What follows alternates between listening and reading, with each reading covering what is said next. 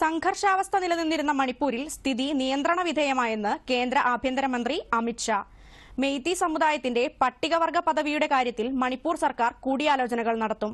വിഷയത്തിൽ സംസ്ഥാന സർക്കാരിനോട് കേന്ദ്ര സർക്കാരിന് ശുപാർശ അയക്കണമെന്നാവശ്യപ്പെട്ട് മണിപ്പൂർ ഹൈക്കോടതി പുറപ്പെടുവിച്ച ഉത്തരവും ചർച്ച ചെയ്യുമെന്നും അമിത്ഷാ പറഞ്ഞു. സംസ്ഥാനത്ത് കർഫ്യൂ പ്രഖ്യാപിച്ചിരുന്നെങ്കിലും സ്ഥിതി ശാന്തമായതോടെ സർക്കാർ കർഫ്യൂവിൽ ഇളവ് പ്രഖ്യാപിച്ചു.